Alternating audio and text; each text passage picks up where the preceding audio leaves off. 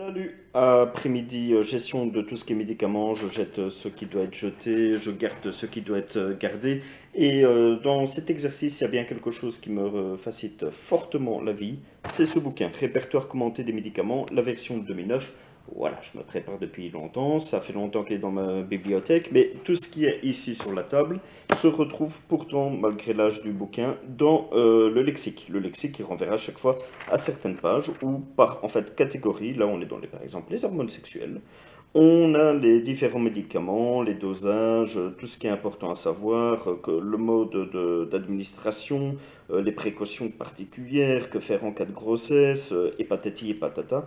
Euh, super intéressant, donc généralement, ben, ça, ça se retrouve simplement dans les notices des médicaments, mais parfois, ben, on se retrouve, comme on voit ici, avec des pilules, on ne sait plus, euh, voilà, les boîtes euh, sont, sont, foutues, on ne sait plus vraiment c'est quoi.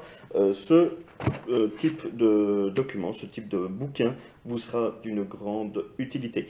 c'est typiquement le genre de bouquin qu'on va retrouver dans les instituts de soins, dans les hôpitaux, etc., pour aider justement du personnel soignant, qui n'est peut-être pas super balèze en pharmacologie, à pouvoir retomber sur ses pattes. Évidemment, évidemment, ça ne remplace pas l'avis d'un pharmacien. Évidemment, ne prenez pas euh, euh, de l'automédication sans avoir passé chez l'homme médecine, chez le docteur avant.